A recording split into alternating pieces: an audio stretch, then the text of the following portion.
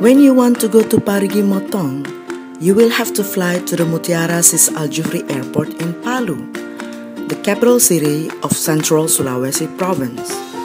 From there, you have to prepare yourself for a two hour drive to the east, following the Trans Sulawesi Road over the hills along the coastline of Tomini Gulf.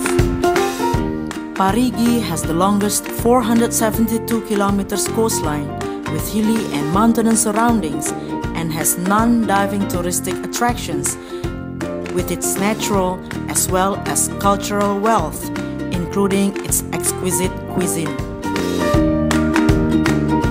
Based on the latest statistics, Parigi Moutong has the largest population of children, and therefore education on reef and marine life to this group of population is very important in order to conserve and protect for a more sustainable future in tourism and fisheries.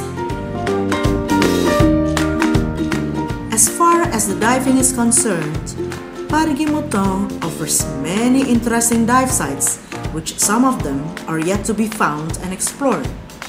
You can go diving from the shore or by boat.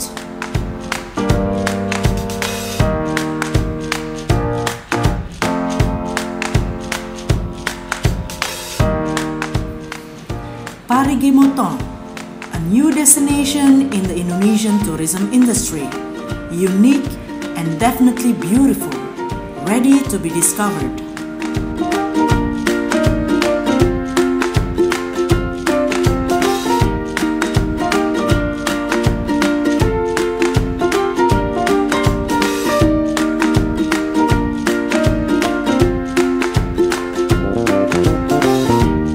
The scenery of a pack of pilot whales and whale sharks in the calm waters of Parigi Moutong is very common.